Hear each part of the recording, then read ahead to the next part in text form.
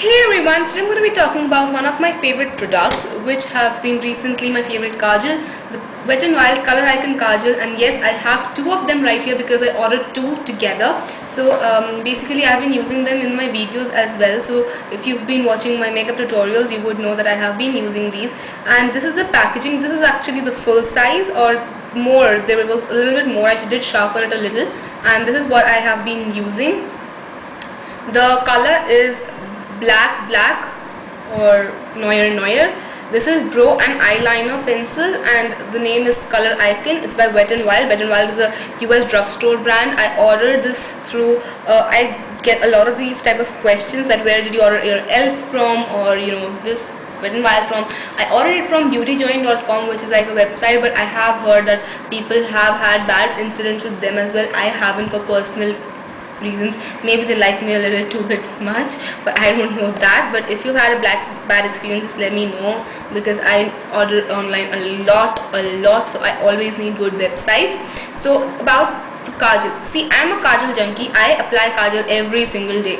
And with me what the thing is that um, nothing stays on my eyes somehow it all just uh, goes up in the corners or just I don't know where does it disappear. It's so frustrating and annoying and irritating that it's not there because I applied like in the morning so much and in like I apply actually I leave for college at about 8 every day almost. So um, when I'm leaving and I come back by 4 but it's not there even by like 2 so that's like 4 hours. It's not there. And colossal kajal, Eyeconic kajal, they all say that we're there for 12 hours.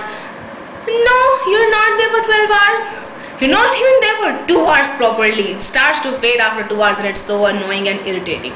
So I'm not saying that this kajal is there for 12 hours but what I have seen with this kajal is that it does stay for 5 hours which is like a lot for my eyes.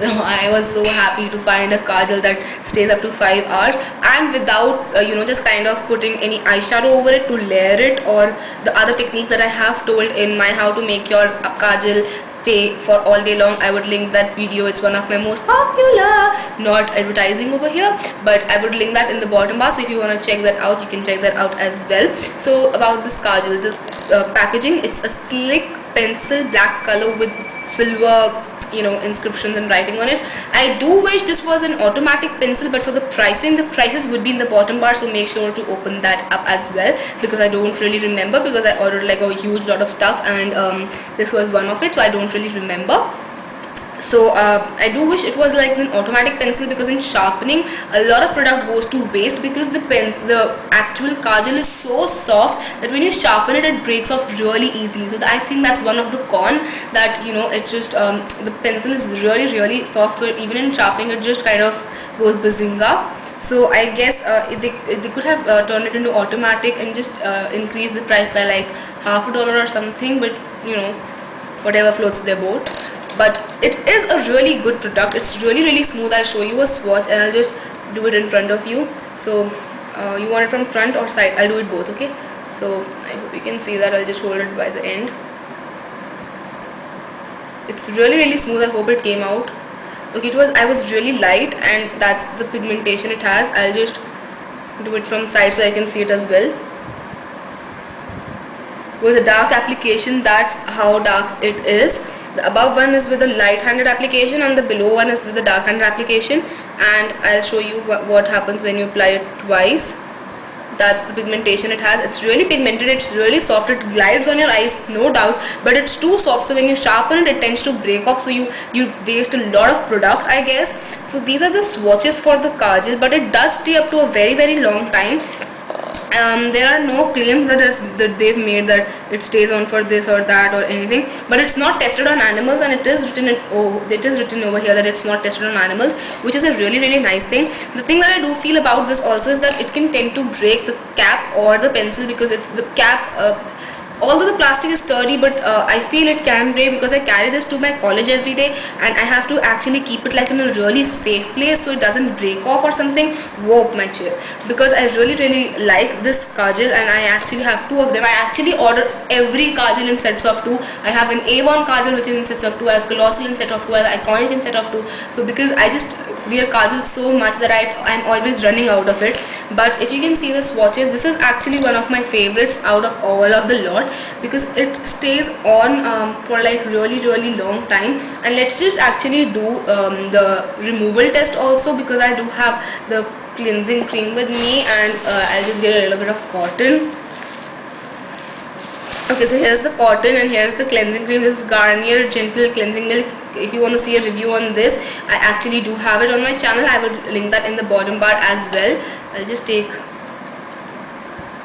a little bit of the cleansing uh, milk on my palm and actually that's you know I've seen colossal kajal I have seen colossal kajal ads and they just uh, you know swipe across the lines like it's smudge free that doesn't happen in real life. Just let me give you a heads up you know even if I smudge this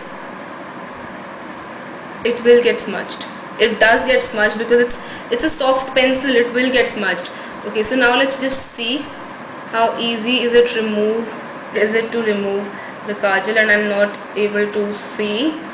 Basically this smudge is how much I would uh, go for removing. I won't budge more than this and it's still there. You see this cleansing milk and not makeup remover there's a difference between cleansing milk and makeup remover. So please take that into consideration as well. And um, with cleansing milk it is still there. Even the one that was applied with the lightest hand is still there. So that gives you a fair amount of idea about the pigmentation and staying power of this uh, kajal so this was a really really quick review and I will just show you next how I apply this kajal. Like it's the it's the normal way of how kajal is applied but um, somehow I feel showing it to you because people say that with review please do demo as well and I'm sorry I'm looking downwards because I'm trying to clean up my hand. Yep almost done. Yes. So somehow uh, I'll just take my phone. Okay. Somehow because people like uh, reviews with a demo and with this pencil I think there is no other demo than just showing you how to apply this. And like basically how I apply kajal uh, on a daily wear thing. So what I, the only thing I do is that I take my kajal. I think it is sharpened or it's not. I'll take the other one. Safe way out. Okay so I just take the kajal. I just kind of push in my under eye and I just apply just go in small strokes. I don't go like big swipes but I go in small strokes because I feel that way more product is getting there on the eye and I have more better handed application. And then I just pull up my eye and I tight line as well same small strokes to cover my complete waterline and tight line. That's just how I apply my kajal. I'll show you the other eye. Small strokes, go back and forth.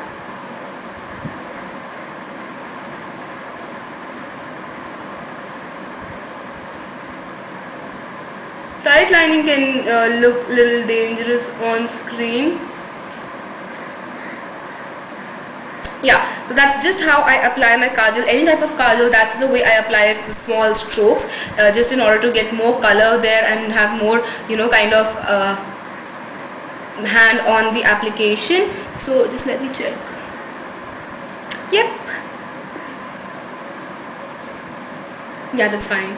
So yes that's how I apply my kajal and I hope you like this short sweet review of Wet n Wild.